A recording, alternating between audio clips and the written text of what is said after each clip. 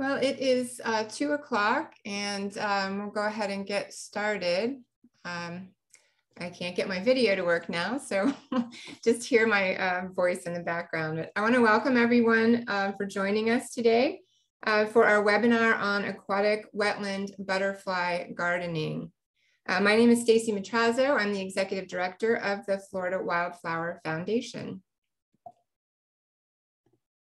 Uh, if you're not familiar with our organization, our mission is to connect, protect, and expand native wildflower habitats through our education, research, planting, and conservation programs. And our work is made possible primarily through the sale and renewal of the Florida State Wildflower License Plate. And whether you've got the old look, which you see here, or our new look, you are supporting our work and we thank you very much.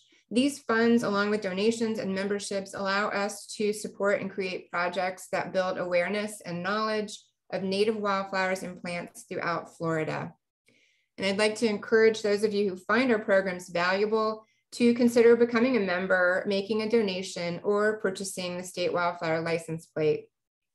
Be sure to check out our website for resources on planting and growing wildflowers um, to learn where to see wildflowers in bloom um, upcoming events and more. We're also on all the social media, so um, you can find us on most platforms at FLA Wildflowers. Uh, our next webinar um, is on April 20th. Dr. Sandy Wilson of the University of Florida will discuss underutilized native ornamental plants.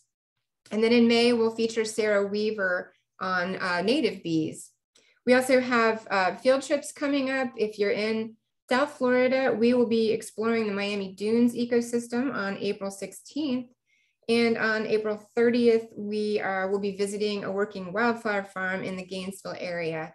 So again, everything, uh, information is on our website. Um, check that out to uh, learn more and to register.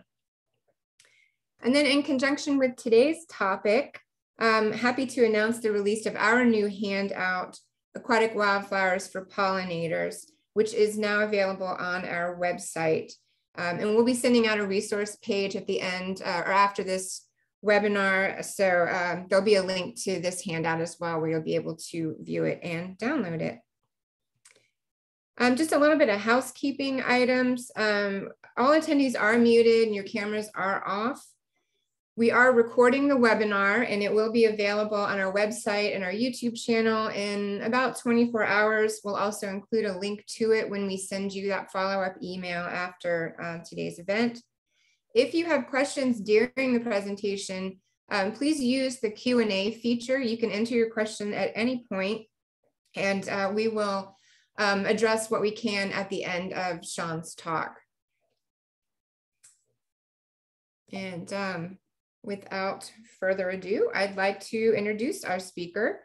Uh, Sean Patton is an aquatic biologist and uh, founder of Stocking Savvy, Savvy, excuse me, a habitat restoration and environmental consulting business. Um, having been disillusioned by the traditional, costly, impermanent, and ineffective environmental management systems within the private sector, Sean began researching alternative methods for restoring Florida's landscapes to their most balanced and natural forms. Now, Sean utilizes naturally occurring biological systems and native plant and wildlife species to restore habitat across the state. Welcome, Sean, and thank you. And thank you, Stacy, for that introduction. Let's go ahead and jump right into the presentation. All right. So I have been working in this field for over six years and running my company for um, four of those years. And we have worked in a wide variety of ecosystems, everything from your standard retention pond to new developments to seepage bogs and preserves and natural habitats to invasive species and algae pits. So we've seen the whole spectrum. And the main thing that we want to do is to have a nice, healthy ecosystem with a variety of native wetland plants. There are thousands of native plants in Florida, 400 of which are found nowhere else on Earth. And I've modified this presentation to be a little bit more focused on the wildflowers, but there's a huge diversity of trees, shrubs, flowers, ferns, rushes, and reeds, and of course, submerged plants, which we're actually going to talk a little bit about in this presentation, as many of those submerged plants will send flowers up to the surface to be pollinated and can actually be important pollinator species and habitat. And also there are some varieties and cultivars of native plants, such as white pickerel weed, very rare to occur in the wild and is also an uncommon sight. Heleniums and you know your sneeze weeds, lizard's tail, one of the very few full shade flowering larger plants in Florida. Excellent pollinator plant. The Sagittaria is very commonly used, but many people don't realize how many there are. And while many of you up north might not like them, smart weeds are actually very good pollinator plants and also good in disturbed areas to help restore a habitat quickly. So the very first thing we need to cover is what actually defines wetland ecosystems. And it really depends on who you're talking to. And so we kind of go by this method where it's based on the water levels and the watermark and the average, you know, depth and moisture of the water. Upland is anything that's nearby a water body, but is not underwater unless it's a hundred year flood or, you know, flooding events. This is where you'll see a lot of animal, uh, sorry, a lot of plants that might have roots extending into the water, but they're far enough away that they're not in the water. They don't have wet feet. And so you'll see um, maples go from the upland to the riparian zone. And many of these species will have several zones they sit in. One key fact that you always need to know about aquatic gardening is that many plants can grow shallower, but they cannot grow too deep. Eelgrass, for instance, and a lot of the tape grass species I've seen grow in mud, but if they're too deep and they don't get enough light, they'll die. The same thing with elderberry. It can grow in the riparian zone, but if you put it in the emergent, it'll die, but it'll do fine in the upland.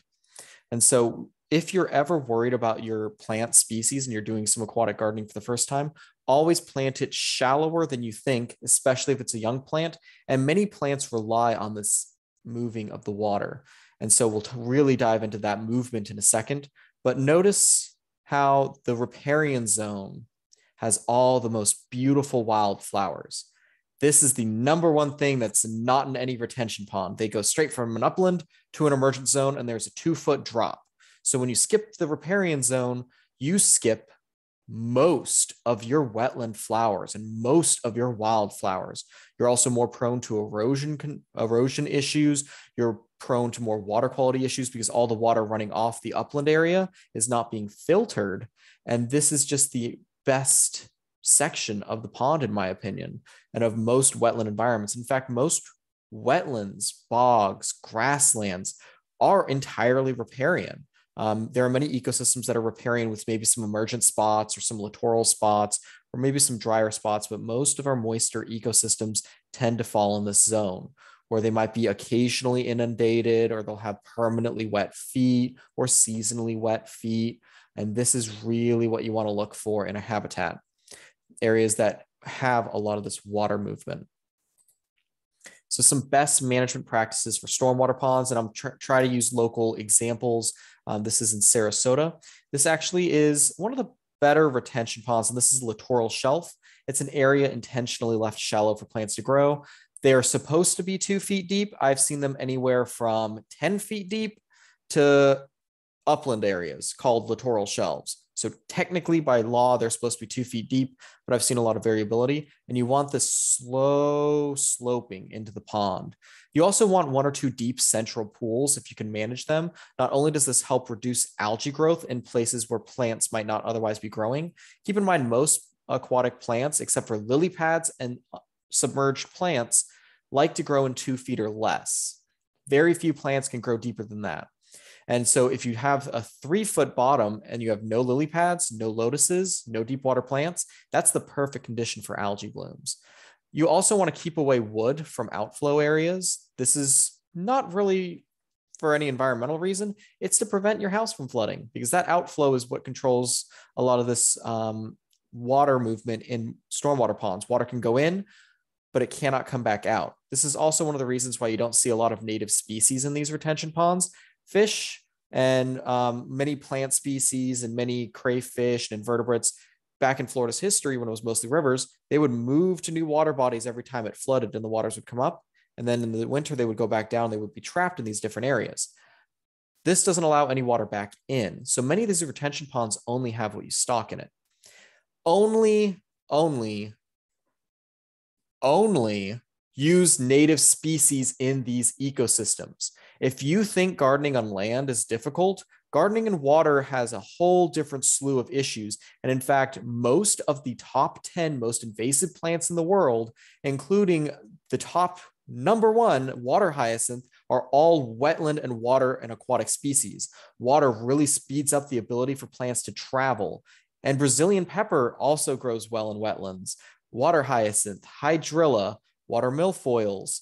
Um, oh gosh, there's a whole slew of them please do not put these plants in your water bodies. There are many beautiful Florida wetland plants that can substitute just fine. In fact, pickerel weed, one of the most commonly available plants, looks very similar to water hyacinth and it doesn't float around and cause issues. You also want to regularly maintain invasives. Many people struggle with gardening in their landscape the opposite is true in a water. Most things will grow very readily as long as they're a wetland species and they're at the right depth. The issue can oftentimes be overgrowth. And this is due to a lot of these stormwater ponds collecting a lot of nutrients or having poor filtration. And so plants will overgrow. This is where you get into people spraying. And I always recommend harvesting rather than spraying because that's a form of nutrient control. If you just spray everything, it rots, turns to algae, and then you have some very, very hard times ahead of you because large algae mats can smother your plants. And we always want to reduce the use of herbicides. They'll hurt the good plants oftentimes just as much as the bad plants, with a few specific exceptions like um, sethoxydim, which only targets grasses. So you can safely spray that around other beneficials. But we always want to use herbicides as a last resort. Um, never a first. There are a few invasives that can only be dealt with with herbicides, which is why you can never say get rid of them all but that is the end goal is to only use this in the case of emergencies. Pesticides i've never found a reason to use a pesticide. If you're dealing with mosquitoes midge flies apple snails there's a lot of animals that you can actually stock to help prevent their spread. And of course fertilizer. The main issue is pr- actually reducing growth in a lot of these systems. It's very rare that you actually need to um, promote fertilizer or promote growth. In fact that usually leads to algae blooms the challenges of aquatic gardening. The number one, believe it or not, cause of failure in a lot of wetland gardens is that turtle right there. Yeah, you heard me. Cooter turtles are one of the biggest um, issues with water gardening. Um, and right after that is the depth of water. That little turtle right there can eat two to three full size bare root plants in a heartbeat in a day or two. They love to eat a lot of plants. They'll take bites out of them. They'll they're big, big herbivores. 90 to 95% of the diet of those turtles is plants. Soft shells and snappers won't hurt your plants, but that turtle sure will. And so, what you need to make sure you're doing is to always overplant a little bit with aquatic gardenings. Um, I personally advise people to not do test sites for lakes and wetlands because here's the thing if you have a retention pond with 100 turtles in it, and it's like a two acre retention pond, and you plant a 100 foot strip, with 100 or 200 native plants, those 100 turtles don't have much else to eat in that lake. They will come eat your plants. Second is the depth of water. Ideally, now is the perfect time to plant between May, uh, sorry, between late March to early May is one of the best times to get some of your deeper water plants in while the soil is muddy um, but they need some time to adjust to the rising water level levels. Again, you can always plant shallower and let plants grow deeper, but if you want to start off a plant a little deeper, especially in a lot of these retention ponds which don't have that good riparian zone, you want to start now. Um, and then the rains will come and really help spur growth. Soil types and sediments are actually a lot less important for aquatic species. Just having that much fresh water tends to bring everything a little closer to neutral. The obvious exception being near estuaries and saltwater environments. Make sure your plants are salt tolerant in that case. And you'll actually find that many of Florida's freshwater species can tolerate a few parts per thousand of salt, like minor, minor bits. Um, it just not for long term. So if you're planting near the coast, if you're planting near an estuary, make sure you're using species that are native to that region. Algae and aquatic weed growth, we've covered this a little bit, but always make sure you're harvesting. Do not spray unless it is the last resort. Because when you spray, plants are released, and then either it fills the water with more algae and herbicide resistant algae, or it you kill off the plants, you kill off the algae, and then it rains, washes all those nutrients out to the Gulf. I know we're talking a lot about things that aren't wildflowers, but when you're talking about aquatic gardening, it's really important to talk about a few of these things because they're so important. Because these are the reasons why so many aquatic and wetland plantings fail. And then, of course, water quality. A lot of these plants actually like poor water quality. It's where they get their nutrients, and many plants, especially your cord grasses, your cattails, and your bulrushes, are really good at filtering out pollutants from the water. In fact, some, like a lot of the cord grasses, have actually been shown to help reduce heavy metal pollution, and they biosequester and store that in the leaves. So, having thick shoreline plantings around ponds and even around wetlands, having buffer areas of uh, good um, wetland species is very important. Then again, here we can see the ebb and flow. American lotus, which is here, can grow up to eight feet deep in the water, but it prefers to start growing in just four inches. This pickerelweed is oftentimes one of the most commonly planted plants in retention ponds, oftentimes is planted between two, two and a half feet deep. Here we see it growing on bare ground. And uh, you'll notice that many species specifically time the dropping of their seeds or their flowering to this moment. They'll either do it um, at the end of fall or early spring because a lot of these plants need to land in the mud to grow. The natural rising and falling of the water, it allows so many species to colonize and grow in new areas. I've seen some species do just fine permanently underwater, like cypresses. I know of several cypress groves that have been underwater for over 20 years in man made lakes. No harm to their growth, long term health is fine, but they'll never reproduce. And so if you want that genetic diversity, you're going to have to do that. And also growing in deeper water can sometimes reduce flowering a little bit just because it's harder to grow. But if you don't have all this area covered, and especially remove as much of your lawn as possible, if you have a big lawn with a sheet of water coming across, that's going to give you a lot more erosion, a lot more pollutants, a lot more um, issues with your water quality. And many of these aquatic plants actually don't grow very well from seed. Canna lilies, American lotus, heck, even pickerel weed are all actually easier grown rhizomally. And if you have the chance, try to, you can grow them rhizomally. And if you're going to give them to a friend, do it that way. I find that many of these plants are difficult to grow by seed, with the exception of a lot of the wildflowers. They can be some of the easiest to grow, just throw them on mud. They're, and again, of course, this depends on the species. Take that with a grain of salt, but don't put salt in your fresh water. All right only plant native. You see this water hyacinth? It looks very similar to the pickerel weed. The only difference is swollen stems and bigger flowers. So you're like, oh, why can't we put this water hyacinth in our lakes? That will cover, one plant will cover a, an acre lake in six months. If a turtle or a gator or even a bird transfers that or some of its seeds, it can absolutely take over. That plant right there is actually what made the first well, what necessitated the making of the first herbicides. Do not move those non native plants. And I know we're talking to the Florida Wildflower Society, but it's still strictly important. And because of how fast these plants can grow, it's very, very important.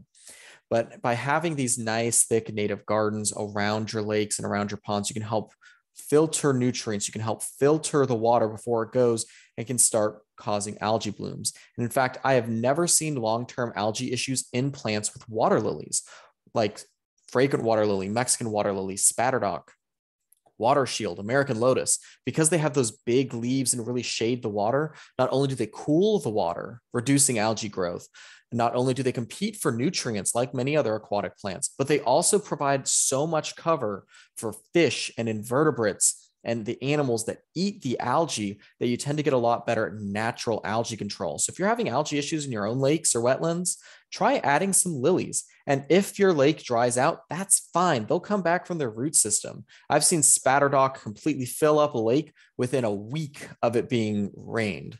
It's very amazing. They'll come from roots to leaves in a fantastic amount of time.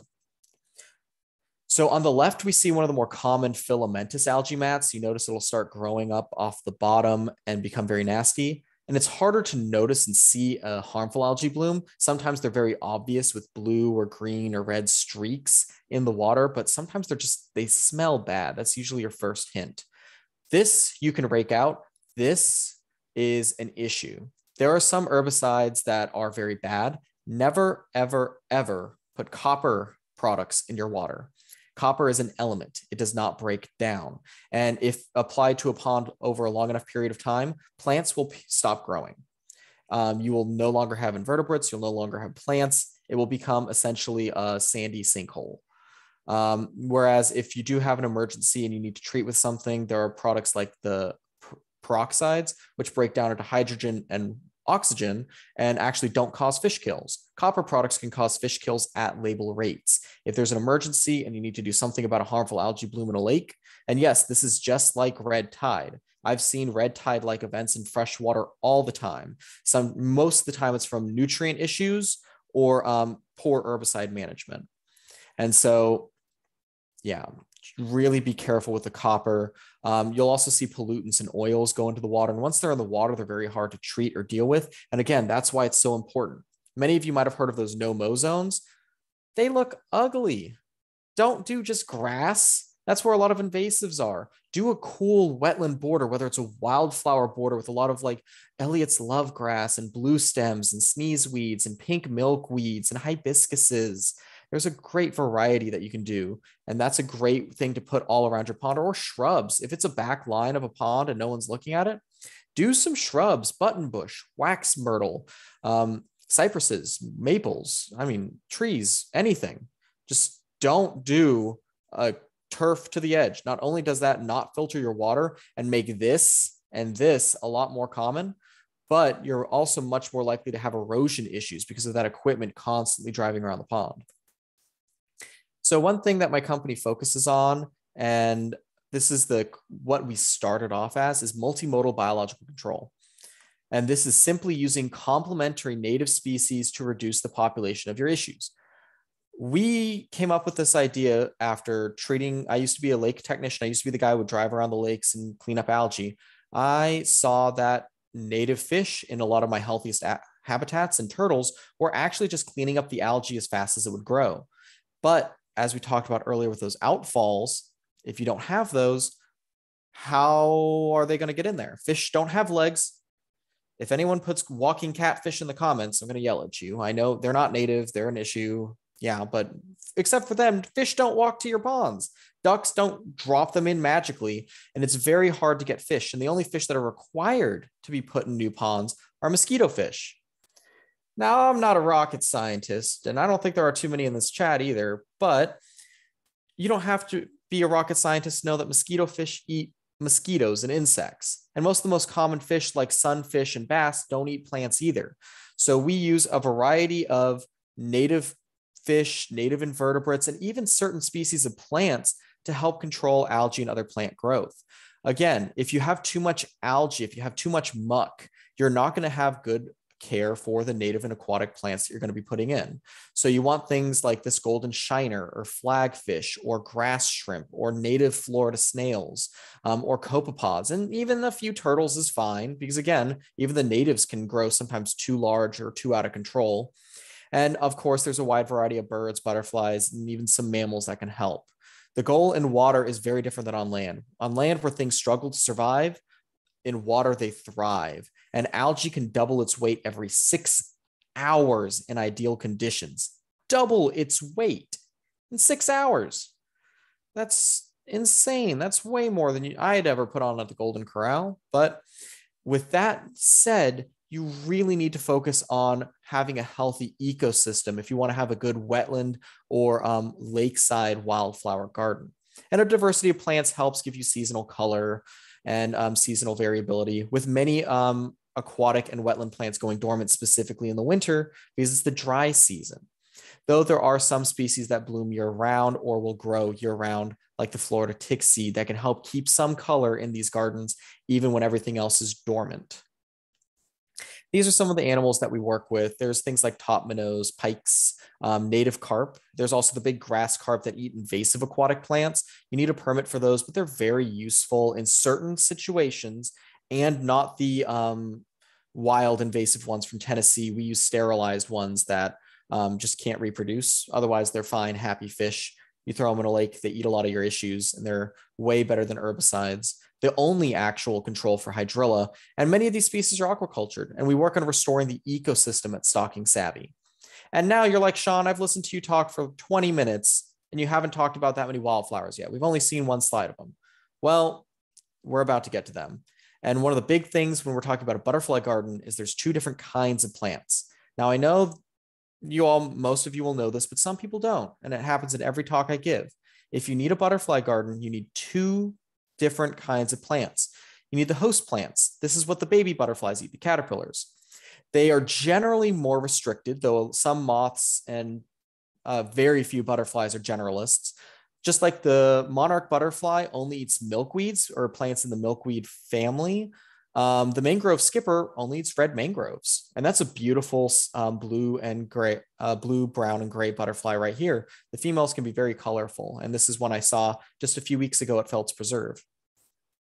You need the host plant. In fact, that's what makes the butterflies stay. If you have a butterfly garden with 100 different pollinator plants, which is what they nectar from, but no host plants, you're not going to see butterflies very often um, because they make their territories around their host plants. They'll fight with other butterflies, they'll fly around, and they'll stay in an area with their host plants because that's the territory they defend. So if you want to see more butterflies you're just not noticing them, make sure you have their host plants. And since we're talking about aquatic environments, you might be like, well, Sean, caterpillars can't swim. How are they doing this? Well, some caterpillars only are active during the dry season. Uh, many of uh, the Bacopa plant, which is a wetland ground cover, is exposed during the dry season. That's when the butterflies tend to lay their eggs and be most active, and that's the peacock butterfly. Mangrove skippers, obviously, they just hold on real tight in the branches, or they'll make a little nest up in the tree and they'll you know use their silk and weave leaves together there's a lot of different characteristics that these butterflies have to survive in wetlands and wetlands are incredibly important with many butterflies being obligate wetland or obligate aquatic habitat. Mangrove skippers, for example, are only in saltwater mangrove habitat. Um, if you're looking for Brazilian skippers, they only eat canna lilies and fireflag, which are obligate wetland plants. And of course, different butterflies nectar at different plants. The flower size and shape dramatically affects the pollinators you attract. There's a reason when you go to a big box store with a bunch of non native flowers, you don't see that many butterflies. They don't recognize it as food. It's like, oh, this is colorful. You'll see a lot of European honeybees around. And again, I don't think I need to explain to you all where European honeybees come from. One last thing I want to talk about most people have no idea what wetland plants they're looking at. And there's a huge variety of rushes, grasses, and reeds that are very hard to identify. Um, I work with the Marie Selby Botanical Garden on the uh, Sarasota Manatee Ecoflora project. It's a local project to identify plants in our area. We've added over 70 to the new list. You just download the app, iNaturalist, and it's free. And you can upload your photos, take good photos, take lots of high quality ones. There's also the Worldwide City Nature Challenge, April 29th to May 2nd. Lots of cities in Florida are participating. It's a great way to get out there and just document as many plants and animals as you can, see how many wildflowers you can collect, compete with your friends. A lot of cities and areas are offering prizes. I know uh, the Sarasota Manatee one is. So check it out. You just need a camera, a smartphone, look it up. It's on iNaturalist or um, just the Worldwide City Nature Challenge. It's a great way to learn more about the plants and animals around you. And now that we've talked about everything but the wildflowers, let's get into it. So the first wildflower I want to talk about is one that well, we'll, we'll start off more familiar. Um, white milkweed is also known as the aquatic milkweed. It's the host of the monarch queen and soldier butterflies, just like all milkweeds. And this is one of the only two milkweeds that blooms and grows year round. You'll oftentimes see these guys in shaded, moist hammocks. Um, Myakka State Park has a lot of really good examples of white milkweed. And like all milkweeds, they're mildly toxic.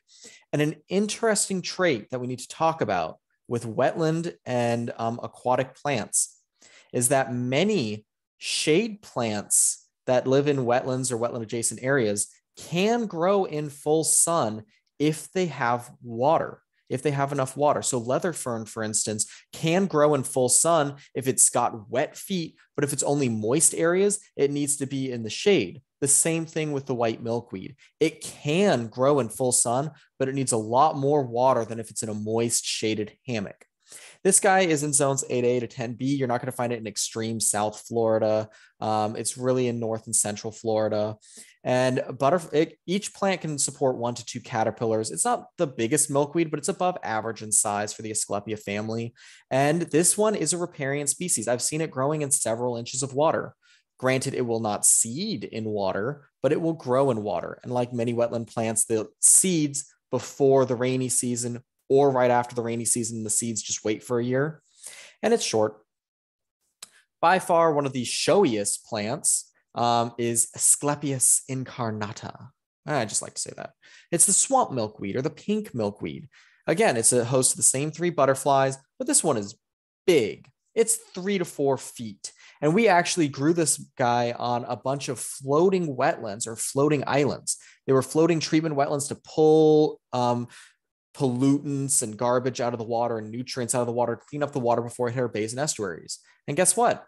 When you grow a bunch of butterfly plants on a floating island, you get a bunch of butterflies in the middle of the water. They will fly over, lay their eggs on the island, fly back out. Caterpillars will grow and pupate on these islands and then fly off, and they'll take the nutrients of the plant that they ate with them. It's a really novel way to help clean up the water. And look at that. That's beautiful. Do not buy the tropical milkweed. It doesn't get as big as this. Tropical milkweed's actually harder to grow than this. This thing's huge. It gets like five to six caterpillars on each one. Huge clumps of pink flowers can grow in large groups. It's very aggressive and it loves wet to moist soils, that riparian habitat. It does not like to be underwater though. Like most wetland plants, it can survive being temporarily, like for a day or two underwater, but it needs that water to recede. Again, that ebb and flow. This one likes the flow a little bit more. It doesn't want to be underwater. Our state wildflower and an excellent pollinator plant, Coreopsis leavenworthii is probably the most wet tolerant Coreopsis. I have seen these guys grow in several inches of water just fine. And that's actually something we might want to update on the Florida Native Plant Society list is that these guys are extremely water tolerant. I see them growing where no other Coreopsis ever will. And they also, I've seen them grow in a lot of part sun areas, especially in Deer Creek Prairie Preserve. Most of my experience is in Central and South Florida. So I'm sorry for those of you who know what that white stuff that hits the ground in the winter is.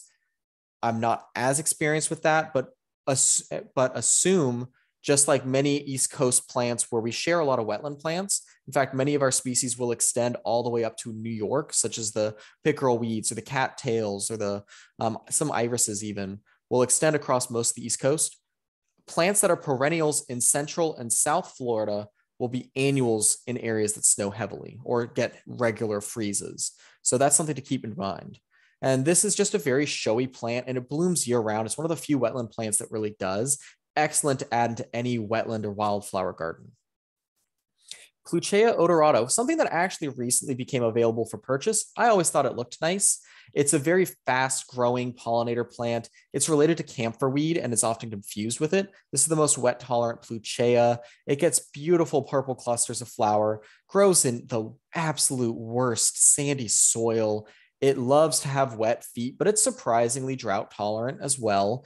And it really likes to grow in areas of bare soil. And when you talk about a lot of wetland plants, many of them are good at colonizing um, bare soils and areas. That's why a lot of wetland plants are considered aggressive or invasive. A native species cannot be invasive.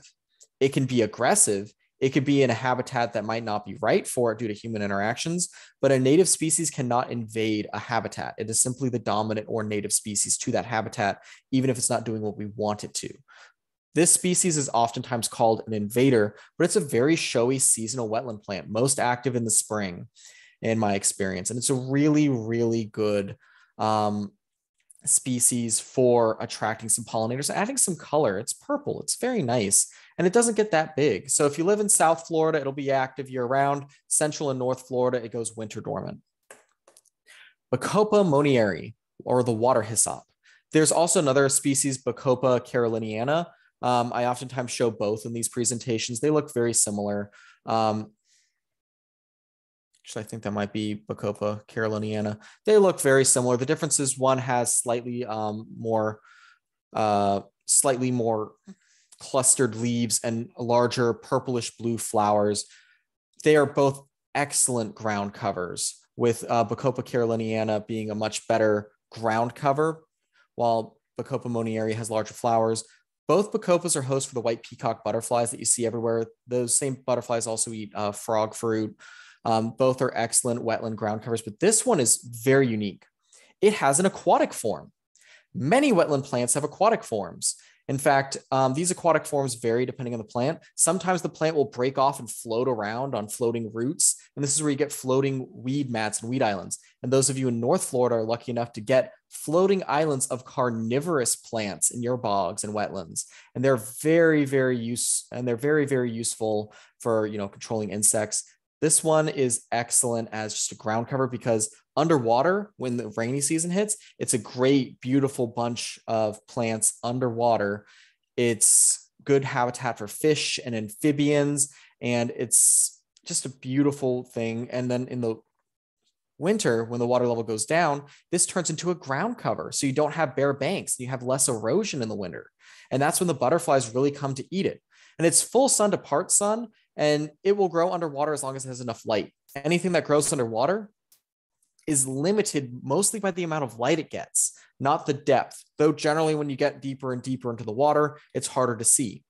But I have seen plants die from lack of light in a few inches of water that had a lot of sediment or pollutant or simply tannins, you know, the brown stuff in the water in a lot of the forests. They can't grow in that.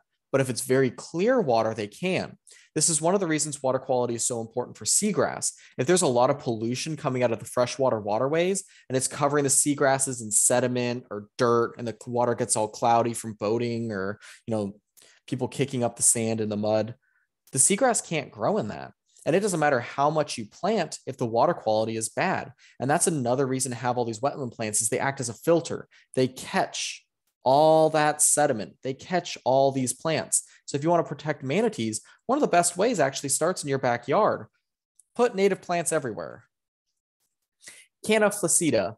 Oh, that's an ugly caterpillar, but thankfully you'll never see him. That caterpillar actually you will never see because it will hide in the leaf, sew the leaf shut, and you'll never see it. That's a fact with all skipper butterflies. Um, that's actually the main characteristic of skippers is sewing leaves into little houses, and it's kind of cute. And the butterflies are um, orange, um, four obvious wings laid up, very very um, showy little butterflies. These get large yellow flowers, also known as the bandana of the Everglade, and they have a max depth of six inches or less. I put these three dots here because uh, several counties published a few years ago that they could grow in 18 inches of water. Everyone who followed that rule lost their plants. They do not like being planted in deeper than six inches. In fact, they don't like six inches that much, but they can grow in it if they're planted large. A lot of people, when they're planting um, aquatic areas, actually get bare root plants. Because these plants are grown so powerfully from rhizome, from rhizomes, they have such strong root growth that you can break off a plant as long as it's got a little bit of a root bulb or any little bit of root. You can stick it in the mud somewhere else and it will grow you can do a lot of things with aquatic plants that would make most people doing traditional gardening weep. If you want to grow plants, if you want to grow any of these wetland plants and you don't have a wetland and you don't have a pond and you don't want your water bill to go up as fast as housing prices are right now, what you need to do is get a tub or a bucket and just throw the plants in there you can put some soil on it, but I actually grow um, several of my canna lilies, my fire flag, my bulrushes, some of my floating plants, my pickerel weed in tubs with a little tiny layer of soil at the bottom because I don't want them to root too much. And I throw a little chunk of fertilizer in a tub, and that's it. That's really it. I put mosquito fish in the tubs too, just to keep the mosquitoes out. But that's it. It's just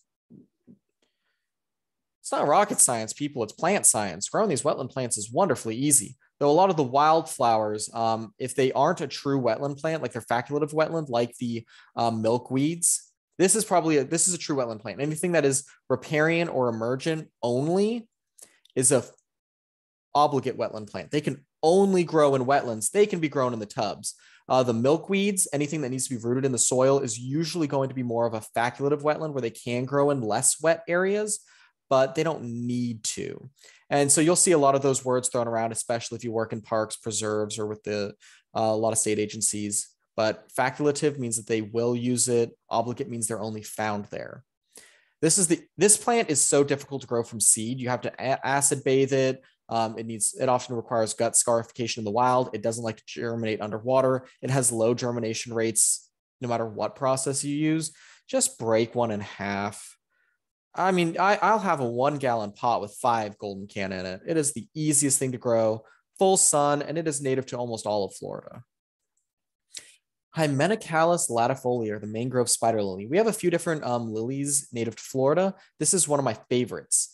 They bloom always in sets of twos. They have this delicate white membrane, and I see them in the wild growing on mangrove islands and spoil islands. They really do like part shade, is where I see them do best. Technically, they can do full sun, technically, they can do full shade, but part shade is ideal. They love it. Um, full sun, they tend to need a little bit more water, um, but that's kind of hard in a lot of the habitats they grow in, and they can tolerate salt water straight up. There are a lot of different salt tolerant plants and beach plants that are actually very rare. Um, something our company does is we do research and bring new plants into captivity or helping to um, bring plants that are underrepresented in the trade. And we work with a lot of, there's a good chunk of coastal plants that we want to bring back. And many of them are either host or pollinator plants to a wide variety of native and endangered butterflies and moths. Fun fact if you have white or pastel colored flowers, that mostly attracts moths. And these guys will usually stay open at night.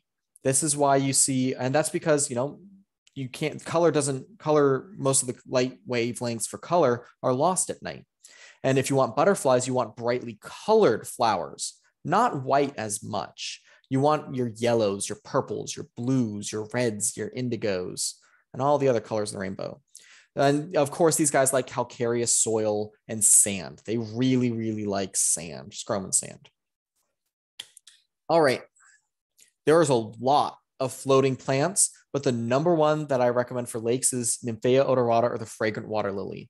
Spatterdock, Mexican water lilies, and American lotus are all beautiful and great plants in their own right. And if you have aggressive algae issues, I recommend them over this. But if you just have a standard pond, and you want a water lily, and you don't want it to immediately take over your pond like a lot of the other ones will, they'll grow very quickly. This is one of the slower growing ones. This one gets big, beautiful yellow and white flowers. And looking at that picture, I know I have a lot better ones. I need to update some of the pictures in this presentation. And they are beautiful, gorgeous plants. And look, look how much of the water is shaded. This is, and also you see the ripples coming across the water and how they suddenly stop on the side of the lily pad when you have erosion of pond banks, there's the rain coming from here, there's the waves coming from here, and you have animals trying to burrow into the side. If you're not stopping all three of those forms of erosion, you've lost. You lose your backyard, your house is in the pond. I have seen people, ATVs, golf courses, a tennis court fall into ponds. Please just plant plants everywhere. Plant your native plants. And a very fascinating fact about these guys is that the female flower opens up first and they have a sticky pool of nectar in the inside of the flower. And when a butterfly or a pollinator comes to drink from it, they get stuck and they drown. And then after it takes the pollen off that insect, it opens up with the male flower. And it does this to ensure that it gets pollinated. It, they kill their pollinators sometimes not all the time, but sometimes. And it's often enough that scientists have documented that. And I just think that's cool. Also, if you want gallinules, which are lily walking birds or moorhens, the birds with the very long toes, if you don't have lily pads and specifically a rush of some kind in your environment, you will be much less likely to get the birds. They walk on the lilies, they eat aquatic plants, and they use the rushes to build their nests. You can design and build your ecosystem for the wildlife you want to attract. And I know when we talk about wildflowers, you're like, Sean, that's a water lily. Well, it's wild, it's got flowers, might not be what you traditionally think, but these plants have modified themselves in extreme ways to survive. And this is an example of the deepest uh, habitat that you'll get, the littoral habitat. All lilies tend to do best in full sun. Part shade is okay. Almost none of them grow in full sh- shade. They really prefer full sun. And again, that is what you'd expect from their environment. They grow out in deep water. Very few trees can handle that deep water. And if you want a deep water tree environment, the only one you're going to see in the state of Florida is going to be cypress swamp. We have other kinds of swamps and things, but deep water, the only tree that really handles really deep water is cypresses. Oh, and of course, coastal mangroves, but I'm a freshwater guy. I can't afford to live on the coast. Sagittarias are one of the largest and most common groups of wetland plants that you'll see. Lancifolia, or the duck potato, because we scientists just have an absolute blast naming these plants, um, is one of the most common.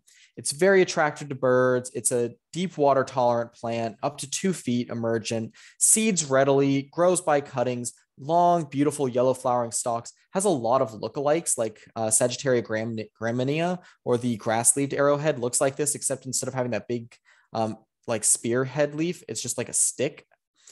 Fun fact these are also widely used not only because they like deep water, which is good for how developers design ponds, get the gentle slope. You don't want a drop off. That's the worst thing you could do. We're not up north. We don't have cliffs. Florida is sand to the end.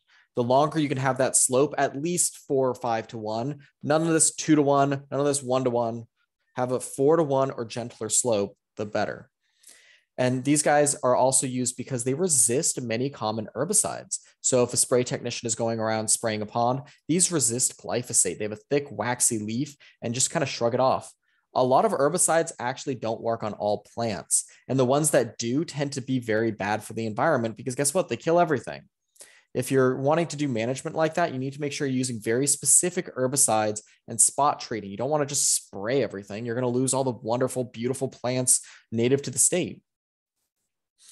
Pickerel weed or Pontederia cordata is a relative of the water hyacinth, but it doesn't float, and that's good. Um, it can sometimes grow on floating weed mats, um, but it's just, it's usually rooted. It is an excellent pollinator plant. It is the most utilized pollinator plant in any wetland that I've ever seen. If you, I recommend adding pickerel weed to every single wetland and lake garden. I know it's overused, quote unquote, and it's used in a lot of areas because it can tolerate deep water, but I have seen hundreds of different pollinators on these. I've seen giant swallowtails to tiny skippers. I've seen native bees to European bees to orchid bees. I've seen flies. I've even seen some of the beetles go after these. One of the best pollinator plants, and it grows very well. Goes winter dormant though. Um, if you live in an area where it gets cold or it freezes, it'll die back down to the roots. If you live in central to South Florida, it might be active year round, but if we get a frost, it's going down and you just won't see it for a few months. Um, it's also eaten by a wide variety of animals and is one of the few emergent plants. It's not an underwater plant eaten by manatees. Manatees also eat water hyacinth. It's, they're the only native animal that actually has water hyacinth in its diet, and they eat it in South America because the West Indies manatees, well, it's native to the West Indies. It's native to the whole Caribbean. It's a favored food by waterfowl and turtles and can get to a decent size. I've seen these guys stick three feet up the up out of the water, and just beautiful purple flowers. The largest wetland flower we have in the state, I believe, goes to Hibiscus coccineus or the scarlet hibiscus. Not only is it a host plant for all these butterflies, but that flower can be eight inches across, sometimes more. Usually it's around five to six, but I've seen some massive, massive flowers. They also have leaves that have the big palmate leaf structure. And so people think they look like marijuana, but it's not marijuana. And it's just kind of funny to let people think it is. It's a great thing to joke about. It's a beautiful pollinator plant. It's a great host plant. It can, it's a riparian plant. I've seen it tolerate slightly deeper depths and it is very, very winter dormant. I've seen this guy grow from south to central Florida. We have several other hibiscus species, each kind of native to a region of Florida. But this one, if you're in south or central Florida, grow this. Like a lot of plants, the leaves will change with the available sunlight and also the age of the plant. Um, so if it is in more sun, it gets this long, thin leaf characteristic. If it's in more shade, it has a thicker leaf. And so they're very versatile, very, very showy. I really recommend these, but don't make them the only thing you plant. Um, one, they go winter dormant, and two, like all ecosystems, you need some variety.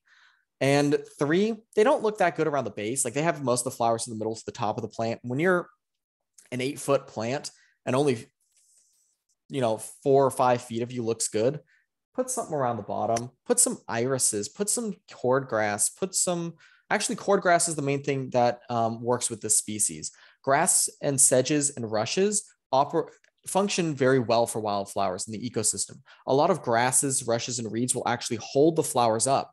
If you've ever seen the Florida tick seed in pots, it falls over all the time and it looks like trash. That's because in the wild, it relies on those grasses to give structure to it, to hold the flowers up so you can see it.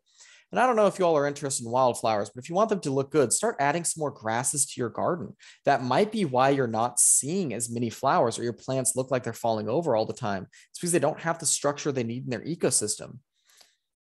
And this is the, don't forget, I don't forget about you northern folks. Um, if you're in North Florida, um, Pineland hibiscus. And yes, there's a Japanese species that looks very, very similar and they get confused all the time, um, is the Pineland hibiscus. They have extremely large, showy, and white flowers with this like dark maroon center. They are easily, hibiscuses grow pretty well from seed or cuttings. Um, and this is another riparian plant. It is more cold tolerant to coccineus. And of the three wetland species we have, the other one being the salt rose mallow um, of hibiscus, this is the most cold tolerant. It's pineland hibiscus, swamp uh, sorry, pink rose mallow, and then the scarlet hibiscus, if this is the state of Florida. Pineland, pink, scarlet. Um, like many hibiscuses, the flowers will close if it's too hot or in the dark to protect the flower core. Um, fun fact magnolias do something similar where they close the flowers at night, but they actually close it to trap their pollinators because they are pollinated by beetles. Magnolias evolved before um, bees and butterflies did. So they use beetles, and because beetles aren't very good pollinators, they close around them. Many wetland plants and many plants in general will close their flowers at night for a variety of reasons. If you want flowers that specifically open up at night, um, a great wetland species to use would be um, the night blooming water lily, Nymphaea jamesoniana, which I'm hopefully going to help be introducing back into the trade and making more accessible. Uh, this is Sagittaria latifolia, the common arrowhead. Um, this is another reason why it's really important to make sure you know your species with water plants because there's so many different kinds of habitats in water. Um, most of them are dictated by depth. So a difference of two inches in the water can sometimes be life and death for a plant. That's why most of the plants that I'm covering here can tolerate a range. Um, but many, especially grasses and smaller wildflowers, really like those flatwood ecosystems that never flood more than an inch or two. Um, this one is very useful. It can grow in a good depth, uh, six inches, has much wider leaves, has the same flower as the duck potato, and is great nesting sites for birds. Many ducks will nest in this. And um, I've noticed that uh, Sagittarias are good host plants for a lot of the moth species. And it's a, just an excellent little wildflower. I included only two non wildflowers on this list because I think they're just some of my personal favorites. And I think that they're underused in the landscape. First off, I will just leave this over here buttonbush. Look at that flower. This is a small shrub to decent size, small to medium sized shrub. It's poisonous, so a lot of people have cut it off their properties or removed it. Has insanely beautiful flowers. I actually have a picture of one of these um, that I need to change in this presentation for a pink button bush in the wild. They're hosts to some of the largest native moths. They get beautiful flowers. And like many plants with these long tube shaped flowers, they attract hummingbirds and larger butterflies and moths. Um, they're extremely attractive. And if you don't have um, any livestock, I really recommend putting these in your wetland garden or um, your lakeside they're very, very useful. They like that riparian habitat right next to the edge. Uh, they can handle flooding very well. A lot of forests and swamps have less wildflowers, but more shrubs and trees. And that's where this guy really sh- shines. And many of those ecosystems also experience a lot of flooding.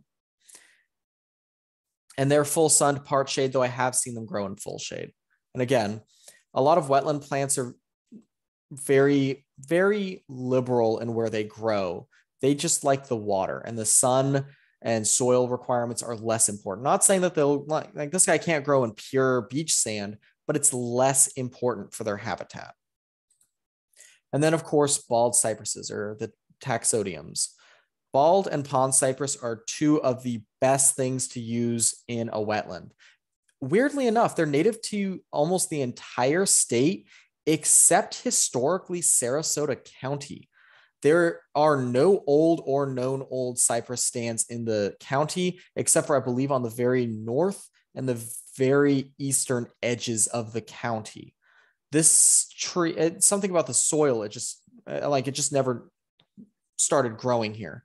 It's an excellent um, tree. It's an, it's the only I would say the only littoral tree. It's the only tree that can grow in littoral environments, though it prefers ripland, riparian or upland, and you'll most often see it in that emergent zone. So between that six inches to two feet. And again, it really depends on the water. There are some cypress swamps that can see, you know, in some swamps that can see 10 feet in water changes because they're, you know, in floodplains or riverbeds. And this is the only tree that can handle that. They're also surprisingly drought tolerant. They feed a lot of birds. They're full sun to part sun. And cypress swamps are one of the most threatened wetland ecosystems besides bogs, um, I would say in the state. So they're definitely something that we should protect. And they're just, they're fairly showy. They're fairly low maintenance. They are also the most vulnerable species to herbicide treatments. Um, they are considered a indicator species for if there's a lot of pollution in an area. Very, very useful for a lot of habitat. That's why you see them alongside roads a lot, is they grow very well in those ditches. And the cypress knees don't push up pavement um, for the most part. They're not, they're like, they'll stick up into a yard, but they don't, they can't push against rock very well. And I wanted to cover at least one truly submersed plant because a lot of them will, there's some Sagittarias that will stick their flowers up that live underwater, but this is one that a lot of people don't realize flowers. They have these small tube shaped flowers that just kind of look like a little tube. And um, they send these flowers to the surface to be pollinated. Any angiosperm, which is a flowering plant, even if it lives its entire life underwater, must flower. And with the exception of seagrasses, all of them flower at the surface. And they are these guys are mostly pollinated by um, aquatic insects and wave action, which is very unusual. You want aquatic plants as well. Not only do they help support and sequester a lot of nutrients and support the nutrient cycle, but they're good habitat for fish they're eaten by birds, mammals, fish, and invertebrates. This is also something common in rivers, and manatees eat it a lot. So if you live near a river, you're doing a river restoration. This is one of my top species I recommend. It's native to most of the state. It's a very useful species and it but it does depend a lot on clean and clear water that's why like seagrasses this is a plant that we're seeing less and less and there are hundreds of wetland plants and i am sure that i've missed a lot there are some like cardinal flower, sky flower that I would love to cover, but there's just too many on this list. So there's some that you think that I 100% need to include or that you think would be interesting to include. I do this presentation a lot and I try to update it regularly. So let me know in the uh, chat or the comments and I'll try to answer and add that in. Last but not least, I shortened this for this presentation since these are non-flowering plants, but they're very important to cover. Horsetails are one of the most drought tolerant wetland plants that you're going to get. They love to grow in rip, riprap or rocky areas. You see them in bioswales a lot. Very useful. Also, very interesting fact they're related to ferns. That's their closest relative. And they were one of the first land plants. Chara, hornwort, um, and coontail are all similar kinds of plants, but they're not related at all. Like Chara is a macroalgae, hornwort is a uh, is a monocot. These plants are important because they release chemicals into the water that kill phytoplankton and they help clear and clarify the water. And they're also eaten by a wide variety of animals. Soft rush, um, I'm going to lump a few of these together. Soft rush and Gulf spike rush are very important for water erosion control, and they're eaten by a wide variety of birds. They're used as nesting material. They're very useful. Giant bulrush is one of the best background drop plants you're going to see. It gets nice showy seed heads and is very important for bird habitat. Starrush white top sedge is one of the few non true flowering plants. Like it's not going to produce a showy flower that I think should be included in the Wildflower Foundation because it produces a flower like structure. It produces four white petals as a sedge, which is unusual very showy, also useful for supporting other wildflowers, especially I see it in a lot of areas with helenium or the sneeze weeds and a lot of the um, tick seeds and a lot of the, you know, more wet prairie species. Giant leather fern is just one of the most versatile ferns you can use. It can grow in salt water, it can grow in fresh water, it can grow in brackish water. It can't grow on a beach, but it can grow in like estuaries that get a lot of salt It's I've seen it, I've seen it in mangrove swamps. It can grow in full sun to full shade. It's a big fern, great as a backdrop plant. A lot of wildlife uses it for cover. And if you ever just don't want to deal with an area that's in the shade and you're dealing with other invasives, and you're like, what can I put here that I never have to look at this area again? Swamp fern. Can grow almost anywhere, but prefers really moist, shady areas. It is very aggressive, great for a bioswale, great filter it is very aggressive. If you're having a lot of like wild taro or elephant ear popping up in a habitat, and you're like, I want to get rid of these invasives, but you know, I just can't keep coming and maintaining the site. I need something aggressive. Swamp fern. So this is um, a little bit just upcoming projects that Stocking Savvy is working on. I'm trying to let the public know. We're actually making and working with a variety of nonprofits to make and sell habitat restoration kits, and the Florida Wildflower Foundation is part of it. We're going to be including handouts on the in the kits. We're going to be including uh, more than two, but biodegradable pots. We're gonna have a little box that you, we can ship to people, a little jar for cuttings and seed bombs, instructions, um, seed bombs for your area, a variety of seeds. We can customize the kits to some extent. And we're trying to do this so that people can do more backyard restoration. And right now we have a wet and a dry kit available. Um, just you know, send us an email. We haven't made a ton of them yet, but we're working on massing up production. And basically, it's just a way for people to get started in restoration in areas that are usually hard to get to, or maybe they don't live near a nursery, or maybe you just want to give it to someone as a gift. Um, and we're also just trying to spread information about native plants as much as we can to as many people as we can. So we're happy that you all were um, putting in some pamphlets. We also work on bringing new native species into captivity, like the American lotus. Um, that's one that we brought into captivity to, to for commercialization, um, so that people can use it for restoration. It's been grown in captivity before, but not um, on a commercial scale in over 20 years. So we worked on bringing that back. We're also working on working with species that are underutilized, like Florida tick seed. So if there's any species that you want to see of wildflower that you're like, why isn't this wetland wildflower grown? Well, let me know. We might be able to grow it and help work with nurseries to sell it. We have a small nursery in Sarasota County, Native Harvest. That's on our website. But outside that county, we're either shipping or working with your local nurseries to help do restoration. We also have a monthly newsletter on our website um, for restoration, news, and volunteer opportunities. Big thing going on right now that we are trying to tell people is that there is a disease affecting turtles in Florida, starting in South Florida, likely a release from a, a turtle farm or the pet trade that is killing native turtles in large amounts. Stocking Savvy is currently not stocking turtles, and we encourage everyone to not move turtles. And if you see a sick turtle, one that's obviously not moving away from you, one that looks very unhealthy, to please call FWC. Or you can let me know and I'll call FWC. There's also the City Nature Challenge. That's just a fun thing that you can participate anywhere in the world. Go find plants and animals near you. That's April 29th to May 2nd. And if you need my contact information, it's right there, stockingsavvy at gmail.com, or you can reach out to me at 941 500 2218 we do restoration projects all over the state, and we're happy to be a resource for people with wetland questions or aquatics questions. We oftentimes help people with plant and animal IDs as well. Thank you all for listening, and now we can go to a Q&A. Right. Thank you, Sean. That was uh, a lot, a lot of good information. Um, we do have a few questions, um, and I know we are at three o'clock, but um, if everyone can just hang on for a few minutes, we can get a few questions answered. Um, Diane asked if the cooters that you mentioned in the beginning of the pro pro hmm, program uh, will eat cattails. Mm, they'll bite them, but they'll they won't damage them. They won't do enough to kill. Cattails grow too fast. All right.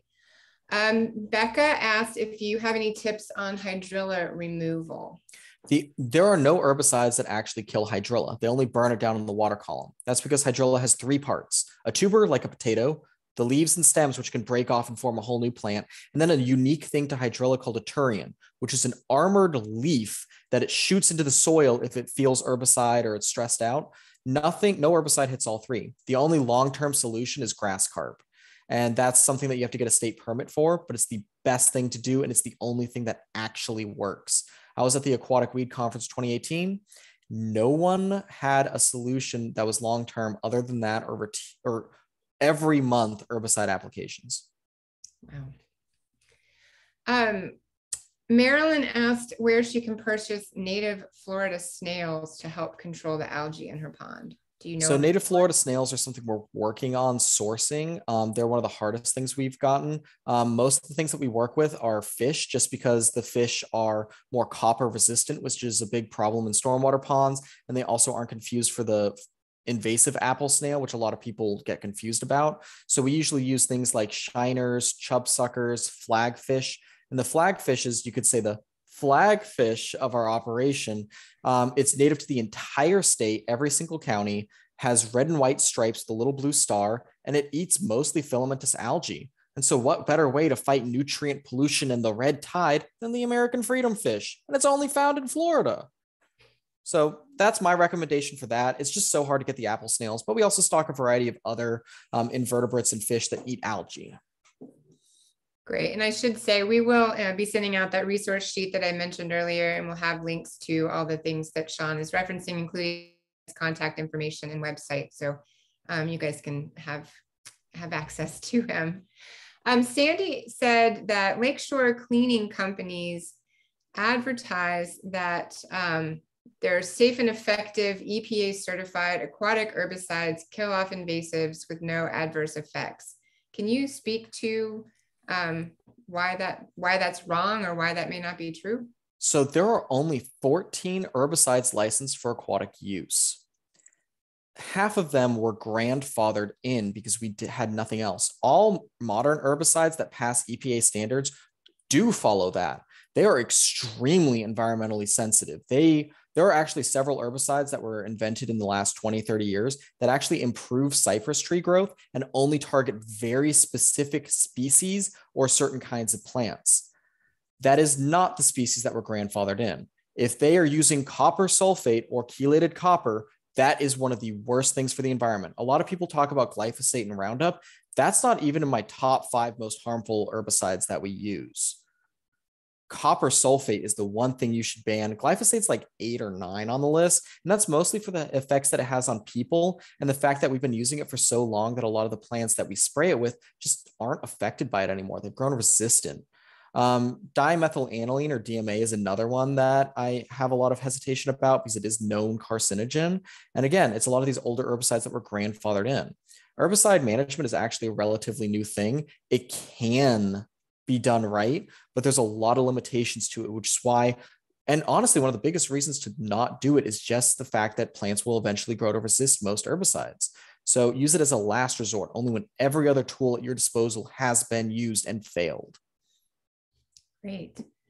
Um, Athena asked, uh, and you talked about growing plants in a bucket or in a pot, and she asked, how do you keep the water from going stagnant while you're growing these plants? So that's the thing. You can also let the water ebb and flow in the pot, but a lot of wetland plants don't care. They are fine with stagnant water. In fact, many wetland plants will grow in stagnant water. Some do not like it. Um, there are some that don't. Liz, um, Scorp, uh, sorry, uh, cardinal flower is one that I know that doesn't do well with stagnant water, and that's one I'd prefer just grow in a moist system. But most of your emergent or littoral plants that like to grow in like ponds, they're fine with stagnant water. They're used to it. That's what they grow in, in the wild, and they will never ever mold. They love that. They'll grow in the hydrogen sulfide bacteria. You can't kill them if you tried.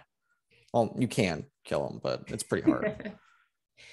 um, both um, Lana and uh, Kat are asking, not Kat, I'm sorry, um, Marilyn. Lana and Marilyn are both asking about protecting plants as you're establishing them from the ducks and geese and the other animals that might eat them. Do you have any recommendations for that?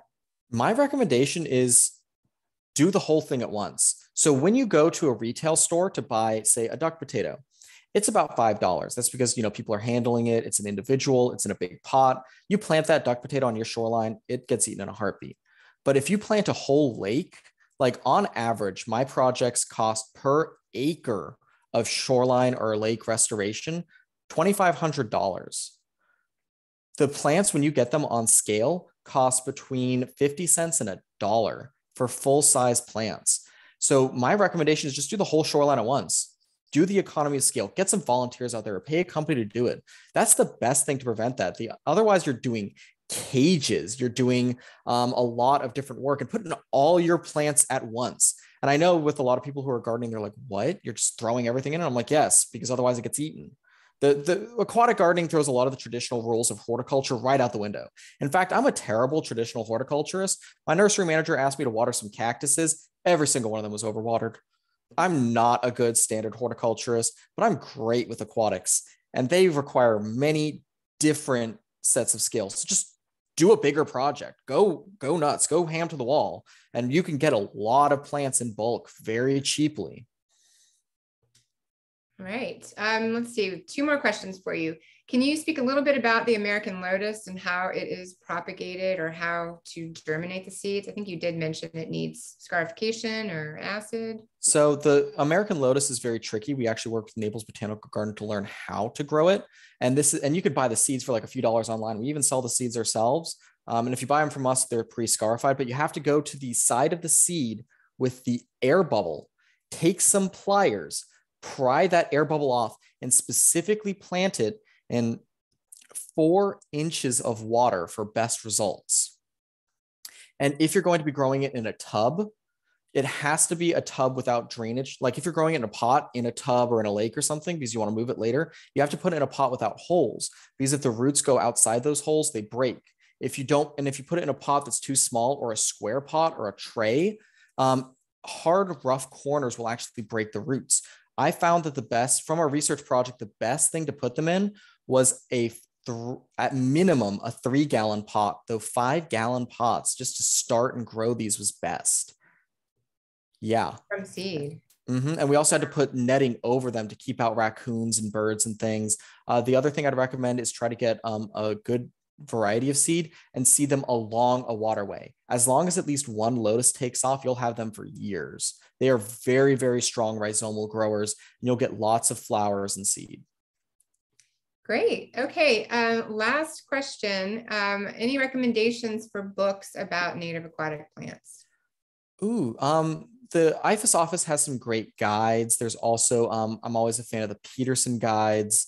Um, Priceless Florida is actually one of my favorite books. It goes very in depth on a lot of these ecosystems.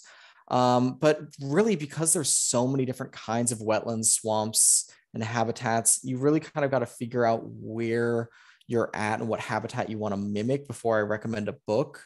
Um, it also depends on what you want. If you want primarily a butterfly garden, I might actually look more for a butterfly book and then pick the host plants that you want, like this poster behind me. Each butterfly is lim- linked to a host plant, and then just make just pick the habitat best for that host. Um, so Priceless Florida is probably one of my favorites. Um, then of course um, there's several different water gardening books, but the IFAS office has some really good guides on water gardening.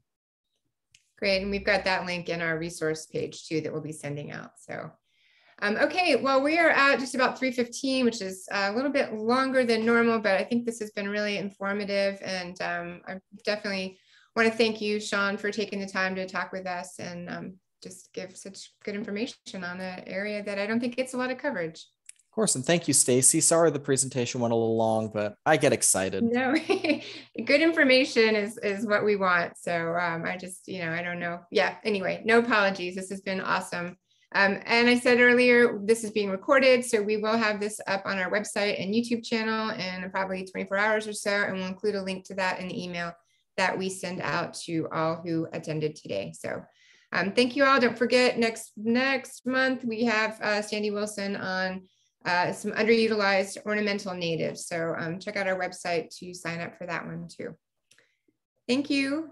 Thanks, Sean. Thanks for having me. Thank you all for coming. Plant natives. Put more things in your ponds than just a duck potato picker weed and knotted spike rush and really that gentle slope having lots of natives there's so much diversity you can do and once you start getting into it you'll realize that most ecosystems in florida have wetland elements and once you start learning how to work with that you're going to see more species than you ever would have believed.